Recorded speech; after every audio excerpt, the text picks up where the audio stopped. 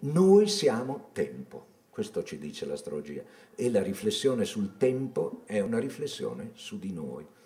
Poi ognuno, quindi un, ognuno di noi ha un tema natale, che vuol dire viene segnato dal suo tempo. Questo suo tempo è unico, è unico in tutta la storia. Non esiste nessun altro tempo che, nessun altro tempo che era uguale al nostro tempo.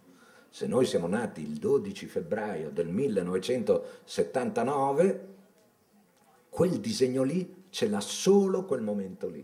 Non c'è stato mai prima un altro disegno simile. Quindi l'astrologia è una individualizzazione del sé individuale assoluta, cioè nessuno ha avuto mai quella, quella configurazione prima. Quindi quell'essere tempo sono proprio io. Quel momento specifico mi caratterizza, caractere, che non vuol dire mi determina, no? non vuol dire che entriamo in quella, in quella delirio che era la, la, la grande querelle di Sant'Agostino sul libero arbitrio, per cui questo tempo ci condiziona. Per forza che noi siamo eh, condizionati è lampante. Se uno nasce, viene su ed è alto 1,60, è condizionato.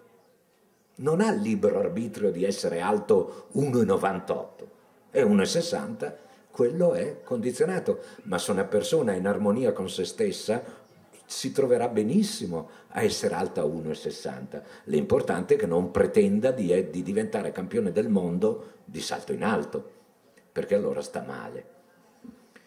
Quindi è molto importante che ognuno conosca se stesso, non per soffrire e guardare l'erba del vicino che è più bella, perché se il vicino è alto 1,94, lui potrà diventare il campione mondiale di salto in alto, ma magari non potrà assolutamente diventare il campione mondiale dei 10.000 metri.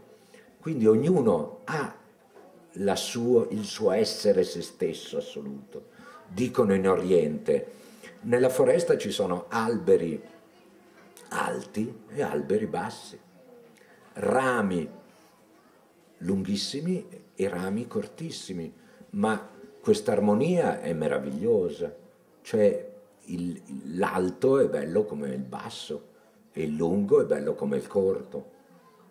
Ecco, l'importante è che il corto non pretenda di fare eh, appunto quello che è alto 1,60 di diventare campione mondiale di salto in alto.